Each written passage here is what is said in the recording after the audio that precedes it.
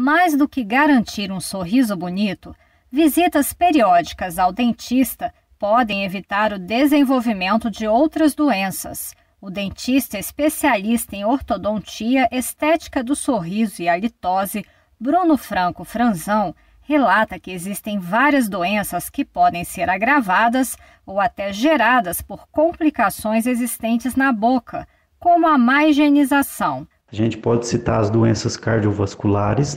Uma inflamação aguda na gengiva, ela pode diminuir a circulação sanguínea nos vasos que estão interligados da boca para o coração.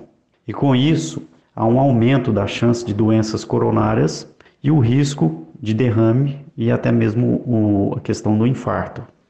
Sem falar também que bactérias da boca podem se alojarem num tecido existente no coração, que é o endocárdio.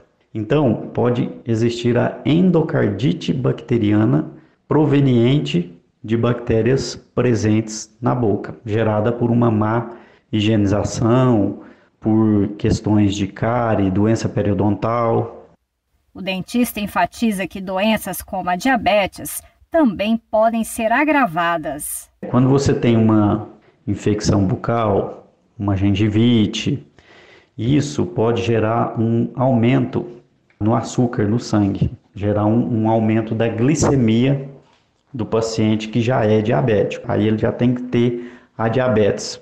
E isso vai dificultar o controle da diabetes, porque vai exigir mais insulina, e também infecções bucais, ela pode gerar o aborto, porque bactérias presentes, por exemplo, na gengivite, elas caem na corrente sanguínea, elas podem se instalar no útero e na placenta, gerando estímulos de contração uterina, provocando parto prematuro ou o aborto espontâneo. Bruno Franzão enumera os sinais de que algo não está indo bem com a saúde bucal sangramento espontâneo da gengiva, ou o simples fato de você usar o fio dental e está tendo sangramento.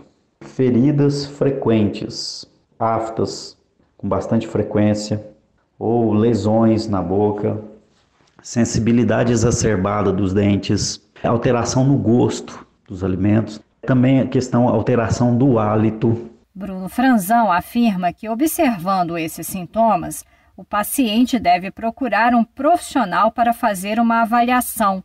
Conforme o dentista, a frequência ideal para visitas ao consultório varia de acordo com o paciente, sendo em média de seis em seis meses.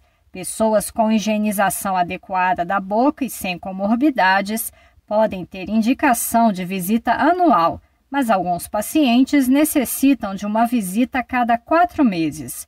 Bruno lembra da importância dos cuidados diários para a manutenção da saúde bucal, com o uso correto do fio dental e escovação adequada dos dentes de duas a três vezes ao dia. Enxaguantes bucais devem ser utilizados sem exageros, de duas a três vezes por semana, para não causar um desequilíbrio na flora bacteriana da boca. Da Rádio Senado, Regina Pinheiro.